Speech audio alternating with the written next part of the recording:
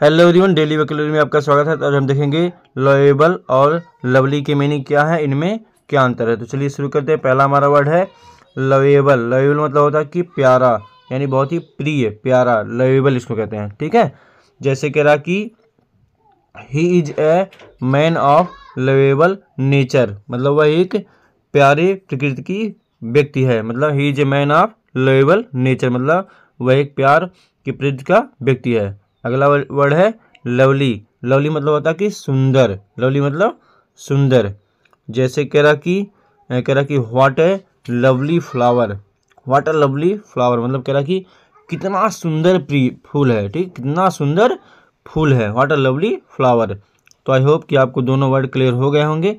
आप ऐसे बने रहिए हमारे साथ। Thank thank for watching